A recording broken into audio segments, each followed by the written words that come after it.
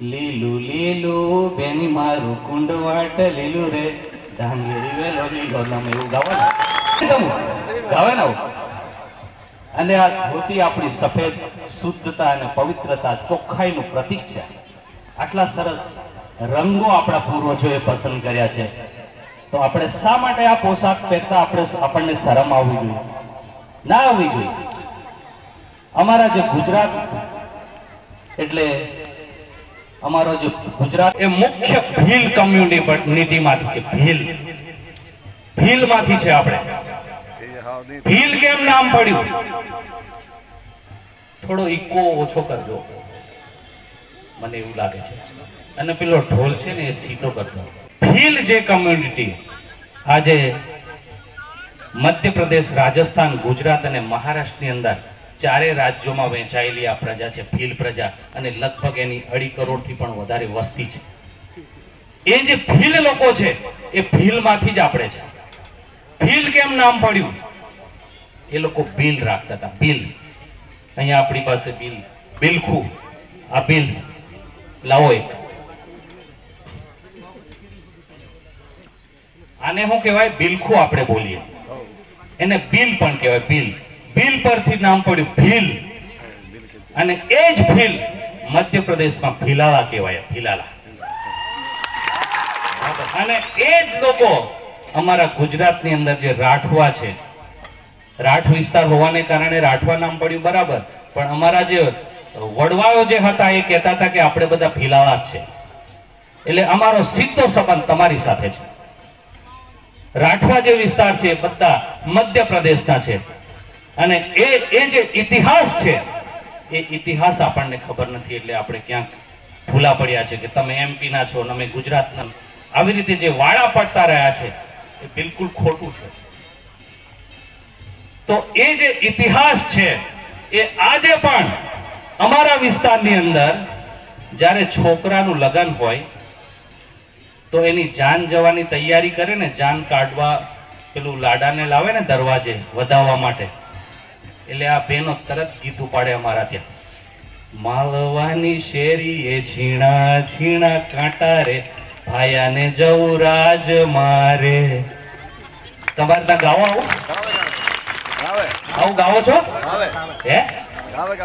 તો આ લોકો આજે પણ માળવાને યાદ કરે છે. આજે પણ માળવા જાય છે. કેમ? ગુજરાતમાં અમદાવાદ ને સુરત ને કેટલા મોટા સિટી છે? કેમ એ દેખાતું નથી એમને? ના દેખાય? જે મૂળમાં જેની સાથે સંબંધ છે, એને યાદ કરે છે, માળવાને યાદ કરે છે. એટલે ઇતિહાસ સાક્ષી પૂરે છે. આ બહેનોના ગીતાની અંદર ઇતિહાસ હોય છે. એમની અંદર સમજવાની વાત હોય છે. પણ આપણે એ વસ્તુ સમજતા નથી. એમને કહીએ તમે ગાવાનું બંધ કરો બંધ કરો. એમ કરીને અમારા કામમાં તો પેલા અમારા વાળા ચાલુ કરી દે, બે કલાક સુધી. પેલા અમને બંધ કરાવી દે. એટલે આ ઇતિહાસ બધો ખબર પડતી. તો એમને ગાવા દો ને. એમની પાસે જાણકારી છે. તમારી પાસે શું છે? ફાકડી બાંધવાના ઠેકાણાની તમારા. એમને ગાવા દો, તો કંઈક જાણકારી મળશે. તો આ જે બિલ છે, એ બિલ આપણા જન્મ સાથે પણ વણાયેલું હતું. હવે તો અત્યારે વિજ્ઞાનને કારણે બધા હોસ્પિટલ થઈ ગયું, ડોક્ટરો વધી ગયા વગેરે વગેરે, બરાબર છે. પણ હા, પહેલાના સમયમાં બાળકનો જ્યારે જન્મ થાય, ત્યારે એ માતા અને બાળક સાથે જે નાળ જોડાયેલી હોય, એને કાપવા માટે આનો ઉપયોગ થતો હતો. કેમ દાદરા દાંતડાને એવું નહીં હતું તે વખતે? આને કેમ હોદ્યું? એટલે આની સાથે આપણો સંબંધ છે.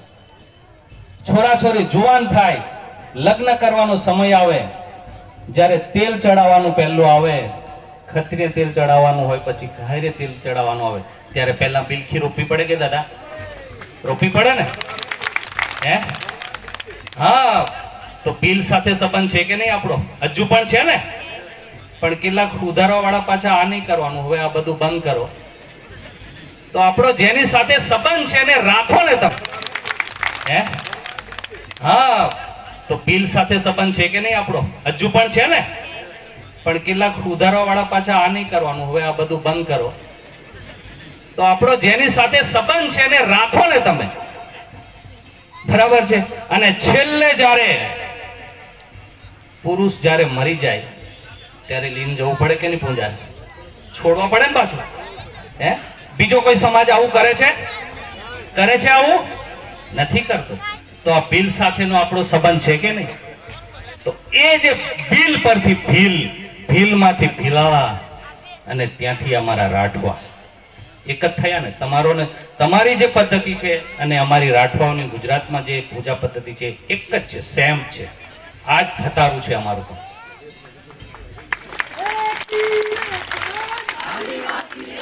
નામ અલગ અલગ છે, પણ વસ્તુ તો એક જ છે. આદિવાસી ચાહે દુનિયાના કોઈ પણ ખૂણે રહેતો થોડી વસ્તુ અલગ જોવા મળે, બાકી જો સમગ્ર એનો ઉદ્દેશ આપણે કાઢો ને, બધી વસ્તુનો, તો એક જ આવે બધું. ચાહે આફ્રિકાનો આદિવાસી હોય, પાકિસ્તાનનો હોય, કે ઓસ્ટ્રેલિયાનો હોય, કે ગુજરાતનો હોય, કે એમપીનો હોય, કે બિહારનો હોય, કે છત્તીસગઢનો હોય. એનું અમુક મૂળમાં તમે જાઓ ને, તો એક સરખું જ આવે છે. એટલે આ વસ્તુને આપણે સમજવાની જરૂર છે.